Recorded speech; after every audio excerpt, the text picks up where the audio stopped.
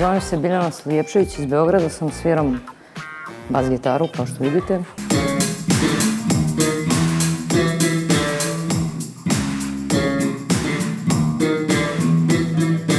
Da li joj je talenat koristio u osvajanju suprotnog ili istog pola? Talenat pomogao da, da, e, da upoznam različite ljude, a sad da li mi je pomogao u osvajanju, to sad ne znam. Životni san. Moj životni san je da, em, da radim muziku za crtaće ili filmove. Šta očekuje? Očekujem e, dobro druženje, dobru energiju od svih ljudi i mm, očekujem da ću nešto i da naučim. Da li je zagovornik One Night Stand? Pa, da li sam zagovornik? Nisam zagovornik, ali svako ima pravo da živi kako hoće, ja to lično ne radim. Da li bi oprostio prevaru?